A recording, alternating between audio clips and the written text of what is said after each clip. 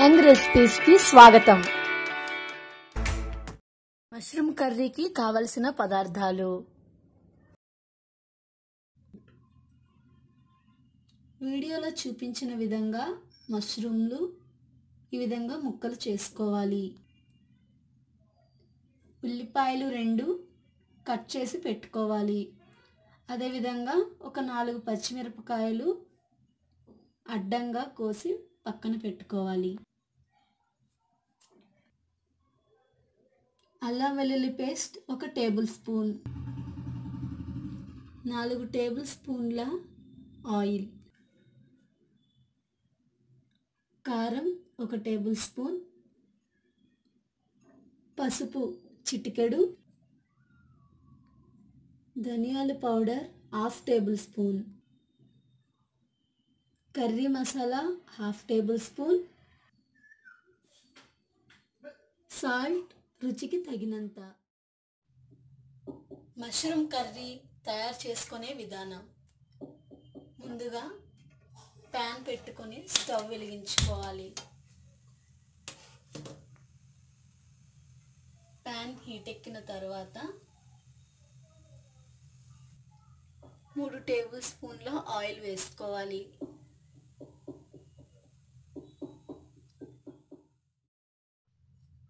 ఇప్పుడు oil heat ఎక్కిన తర్వాత తరిగిన ఉల్లిపాయ ముక్కలు ఇంకా పచ్చిమిరపకాయ ముక్కలను ఇందులో వేయించుకోవాలి.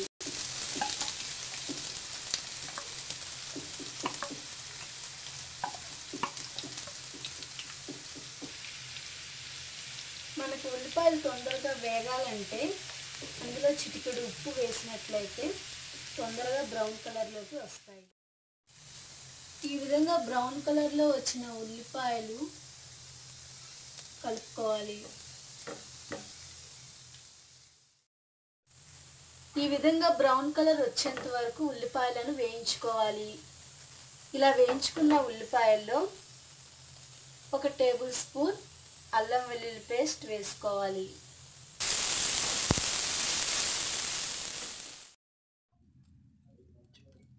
ఈ విధంగా వేసుకున్న మిశ్రమంలో చిటికెడు పసుపు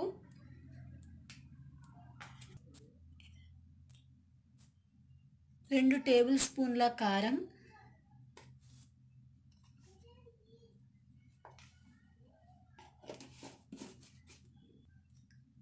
curry masala half tablespoon. ఇవన్నీ వేసుకున్న తర్వాత వీటిని బాగా కలుపుకోవాలి.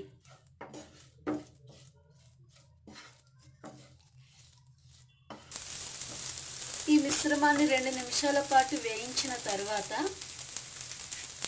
మనం కట్ చేసి పెట్టుకున్న మష్రూమ్ ముక్కలను ఇందులో వేసుకోవాలి